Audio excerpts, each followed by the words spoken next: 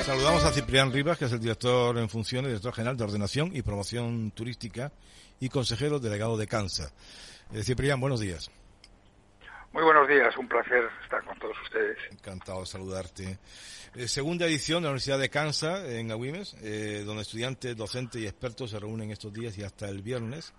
Viernes es mañana, para hablar sobre sostenibilidad, economía azul y patrimonio cultural, etnográfico e histórico de Gran Canaria. Esto parece como muy amplio, muy amplio.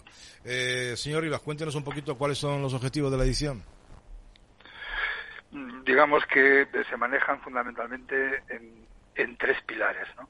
por una parte, que los eh, estudiantes puedan tener acceso a las ideas eh, más innovadoras acerca de lo que es la sostenibilidad, eh, acerca de lo que es la digitalización y acerca de lo que es la diversificación tanto del producto como del paisaje. Estos son los tres pilares en los que nos estamos moviendo y, con respecto a esto se ha diseñado eh, un trabajo que lo que hace es eh, producir una inversión de los del alumnado en la realidad de estos tres aspectos. ¿no? Eh, ¿Qué se está haciendo? ¿Conferencias, talleres? ¿Qué se hace exactamente? Se hacen conferencias. Mm, ayer ha estado Sergio Moreno Gil, es un profesor, como ustedes saben, de la, es un catedrático de la Universidad de de Las Palmas de Gran Canaria, anterior, por cierto, eh, viceconsejero de Turismo del Gobierno de Canarias, con el que tuve eh, el gran honor de, trabajar. Y eh, también es el director del Instituto Universitario de Turismo y Desarrollo Económico Sostenible. Luego los chavales fueron hacia el barranco de Guayadeque y allí pues tuvieron la oportunidad de, ver lo que es el patrimonio histórico a través del Centro de Interpretación y Ruta de Senderismo eh, de, la, de, la, montaña, de las tierras, ¿no? Y, y, hoy, bueno, pues hoy tendrán, eh, ya están, de hecho, en una mesa redonda con los chefs eh, más prestigiosos que existen en este momento en Canarias, algunos alumnos o exalumnos nuestros, ¿no? Y eh, después eh, visitarán las salinas de TNC para ver un poco lo que es la, la cómo se trabaja la economía azul, ¿no? Y eh, intentaremos que puedan acceder a una embarcación para que también vean lo que significa el desarrollo de un nuevo modelo de turismo marinero. ¿no? Ok. ¿Los estudiantes pagan algo o no pagan nada? No, no, no, no, no, no, pagan, no. No pagan, nada. no pagan, nada, nada. Se, apuntan, se apuntan y ya está se apuntan eh, ese alumnado, como estoy diciendo, de, de Kansas, de los dos centros de Kansas, ah, tanto de Santa Cruz como de, de, de aquí de, de, Santa Brígida, y también hay alumnado de, de Hermigua en, en La Gomera. No obstante, nosotros lo que pretendíamos eh, en un principio era que estos campos sirvan eh, para comunicarse los alumnos entre ellos, además del profesorado. Es decir, que no se vean que son islas diferentes y un modelo de educación también diferente en cada isla, ¿no? ¿no? Hay que la intención de que todos somos en el mismo, estamos todos en el mismo programa. ¿Cuántos son aproximadamente? Pues en este momento, eh, esta mañana me decían que eran 82. Mm, es un número bastante respetable, ¿no? 82 son bastantes, ¿eh? Sí, sí, es un número interesante y, y lo que se pretende con este número eh, fundamentalmente es ver, eh, porque esto significa, es decir, tener este número significa también hacer un trabajo de producción interesante, ¿no? Y buscar alojamiento en, en, en Agüimes, un alojamiento lógicamente que no sea caro, porque estamos hablando de, de, alumnos, ¿no?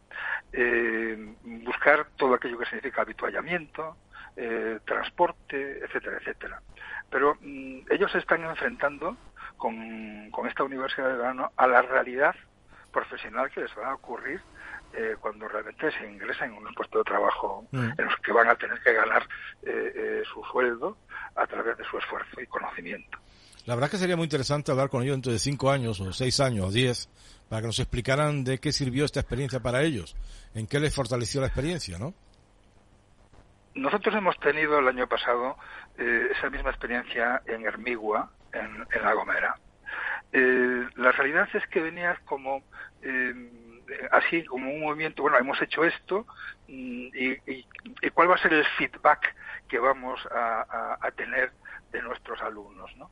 Eh, ha pasado prácticamente un año Y este año, cuando se orlaban tanto los alumnos de Santa Cruz como los alumnos de Santa Brígida, en sus discursos hacían mención a la experiencia que tuvieron en Hermigua y lo que representó para ellos conocer una isla como La Gomera. Bueno, pues esto es, es de lo que estamos hablando, de experiencias que quedan en tu memoria para toda tu vida, ¿no? Esto me parece súper interesante y yo creo que esto es lo que vale la pena. Hoy tenemos la oportunidad de hablar con ellos dentro de un par de años, con algunos de ellos, y nos cuentan efectivamente lo que ha pasado, lo que ha pasado después por su cabeza, las imágenes que tienen de la experiencia que están viviendo en estos momentos. Se le está eh, también enseñando, eh, señor Rivas, a valorar el consumo del producto local. Yo creo que eso lo tienen clarísimo, si están en Ecansa, para fortalecer justamente nuestra economía y preservar eh, tradiciones, cultura, además de apostar por un producto fresco y de mayor calidad. En eso están siempre, ¿no? Esa es, digamos, que una de las patas que están perfectamente ligadas al ADN de Kansa. Que cuando hablamos de sostenibilidad realmente estamos hablando de esto, ¿no? No sostenibilidad en el destino como un elemento eh, abstracto, sino que eh, los niños puedan vivir una experiencia como la que están viviendo en Agüimes, en la finca en la que se llama Jaira de Ana, donde tienen una inversión directa eh, con las cabras y con un diferente tipo de ganado, así como en el cultivo de las papas, así como poder hacer su propio queso, les enseñan a hacer queso. Y eh, ellos están viendo el cariño que se le da a cada uno de los animales, eh, el cariño con que se trata y el respeto con que se trata la tierra, la atención a dónde tienen que llevarse los residuos inorgánicos o orgánicos, ¿no? Y eh, esta es la, una de las fuentes fundamentales. No solamente es decirle en el aula, eh, vayamos a respetar nuestro producto, vean ustedes cómo lo elaboramos, sino de dónde sale nuestro producto, ¿no? Y quién trabaja nuestro producto y cómo se mueve nuestro producto en el mundo, ¿no? Finalizo la entrevista con una pregunta personal. ¿Tiene usted previsto cambiar de domicilio en los próximos meses? Mm, en todo caso, mm, yo le puedo contestar como usted sabe que contestamos los que somos de allá. Ya. Eh, y, es muy sencillo. ¿Me, va a contestar como un gallego? Sí. Le voy a contestar como alguien que comparte con usted eh, cultura. Ah.